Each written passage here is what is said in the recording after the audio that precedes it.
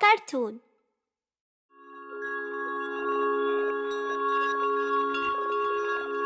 Here's to you, Mother.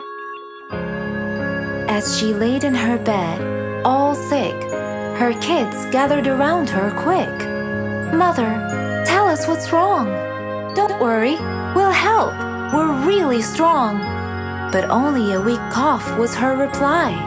She was so tired, and that was no lie. And so, to help, the kids have decided, all as one, with love they were guided.